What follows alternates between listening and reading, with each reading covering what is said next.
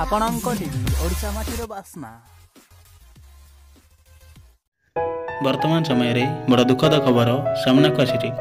ଏହି ପ୍ରସିଦ୍ଧ ଲୋକପ୍ରିୟ ଅଭିନେତ୍ରୀ ଗୁରୁତର ଅବସ୍ଥାରେ ମେଡିକାଲରେ ଭର୍ତ୍ତି ହେଲେ।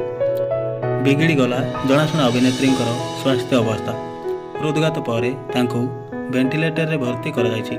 ସେ ଜୀବନ ମୃତ୍ୟୁ ସହ ସଂଘର୍ଷ କରୁଛନ୍ତି। କୁହାଯାଉଛି କି ଅଭିନେତ୍ରୀଙ୍କର ଗୋଟିଏ ପରେ ଗୋଟିଏ ମଲ୍ଟିପଲ୍ କାର୍ଡ଼ିଏଟ୍ ଆରେଷ୍ଟ ହୋଇଛି। ଯେଉଁ କାରଣରୁ ତାଙ୍କର ସ୍ୱାସ୍ଥ୍ୟ ଅବସ୍ଥା ଗୁରୁତର ରହିଛି। ତେବେ ଏହା ପୂର୍ବରୁ ତାଙ୍କର ବ୍ରେନ୍ ଷ୍ଟ୍ରୋକ୍ ହୋଇସାରିଛି। ସୂଚନା ଅନୁଯାୟୀ ପନ୍ଦର ନଭେମ୍ବରରେ ଅଭିନେତ୍ରୀଙ୍କର ଏକା ସାଙ୍ଗରେ ହୃଦଘାତରେ ଆକ୍ରାନ୍ତ ହୋଇଥିଲେ। ଏହାପରେ ତାଙ୍କୁ ତୁରନ୍ତ ଏକ ଡାକ୍ତରଖାନାରେ ଭର୍ତ୍ତି କରାଯାଇଥିଲା।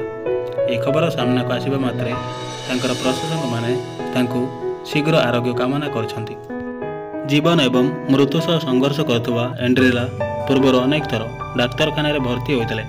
ଏହା ପୂର୍ବରୁ ସେ କର୍କଟ ରୋଗ ସହ ଲଢ଼ି ଜିତିଥିଲେ।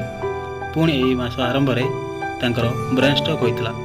ତାଙ୍କର ସିଟି ସ୍କାନ୍ କରାଯିବା ପରେ ଜଣାପଡ଼ିଥିଲା କି ମସ୍ତିଷ୍କର ଅନ୍ୟ ଏକ ଅଂଶରେ ରକ୍ତ ଜମାଟ ବାନ୍ଧିଥିଲା। ବର୍ତ୍ତମାନ ତାଙ୍କର ସ୍ୱାସ୍ଥ୍ୟ ଅବସ୍ଥା ଗୁରୁତର ଥିବା ଜଣାପଡ଼ିଛି। ତାଙ୍କୁ ଭେଣ୍ଟିଲେଟରରେ ସପୋର୍ଟରେ ରଖାଯାଇଛି। ଏଣ୍ଡ୍ରିଲା ଶର୍ମା ବଙ୍ଗୀୟ ଫିଲ୍ମ ଇଣ୍ଡଷ୍ଟ୍ରିର ଜଣେ ଜଣାଶୁଣା ଚେହେରା। ସେ ଟେଲିଭିଜନ ଶୋ ଜୁମ୍ରୋରୁ କ୍ୟାରିୟର ଆରମ୍ଭ କରିଥିଲେ।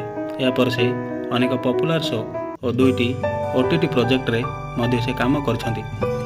ଲୋକପ୍ରିୟ ବଙ୍ଗୀୟ ଅଭିନେତ୍ରୀ ଏଣ୍ଡ୍ରିଲା ଶର୍ମା ଖୁବ୍ ଶୀଘ୍ର ସୁସ୍ଥ ହୋଇ ସେ ଘରକୁ ଫେରି ଆସନ୍ତୁ ଏହା ତାଙ୍କର ପ୍ରଶଂସକମାନେ ଭଗବାନଙ୍କ ନିକଟରେ ପ୍ରାର୍ଥନା କରିଛନ୍ତି।